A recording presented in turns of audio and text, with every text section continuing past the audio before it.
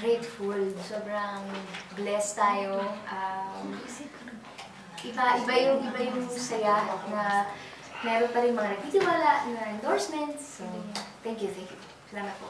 Um, kapag naiisip naman yung word na kabilusan, uh, to be very honest, ikaw yung first person na, na pwede talagang pinaka-credible na mag-endorse. Wow. Of course. Anong feeling na um, ikaw yung top of mind na artist na kinuha nila get to be honest, hindi nga ako makapaniwala nung una eh. Kasi, ah, di rin naman to local brand. So, nagulat ako at saka gumagamit ako ng kamilusan talaga. Kasi pag sinabi mong sore throat or pabili ka na ng kamilusan dyan, so, ano talaga, effective talaga siya. And kilala talaga yung produkto na sore throat remedy. So, eh, sisaya! Nakakalibre ako ng kamilusan. Ang dami kong kamilusan. Yun. Uh, Tapos very timely din yung pagdating ng endorsement kasi nasa The Voice ka na ngayon. Pwede mo magkwento na anything about um, being back on the show. Ah! Yes!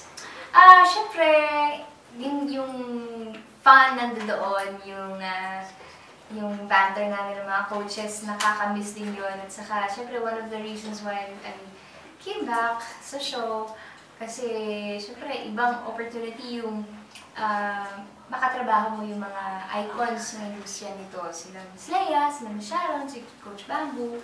So, it's not every day na nabibigyan na ng klaseng proyekto. So, it's a, it's a privilege to be part of the show. And of course, um, yung Camilo San, they have this advocacy about speaking up.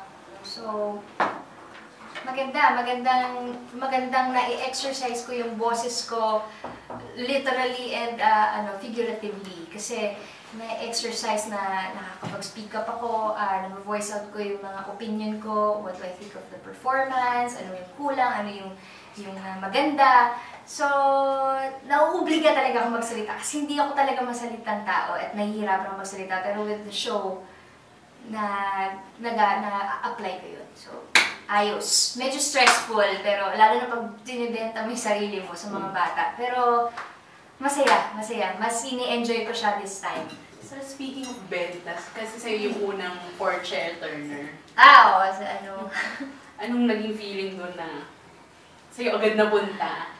Eh, ito talaga, walang pa-humble effect. Every time na mayroon pumipili sa akin na maging coach, ano, para kang nanalo sa loto. Kasi iba eh, iba yung pagkatiwalaan ka.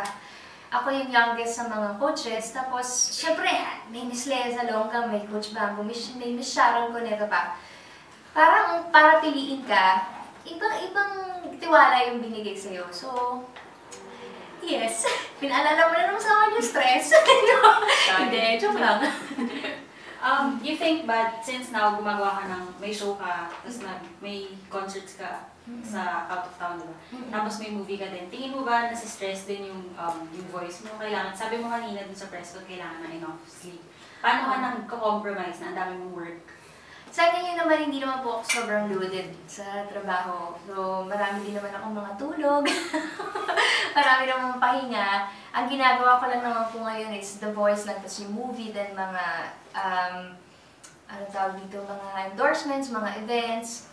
Yun lang naman po. Wala akong teleserye, so teleserye talaga ako nauubusan eh. So, yun. Mas relax ngayon.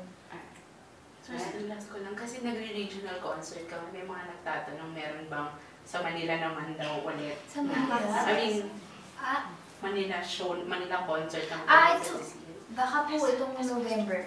Yan.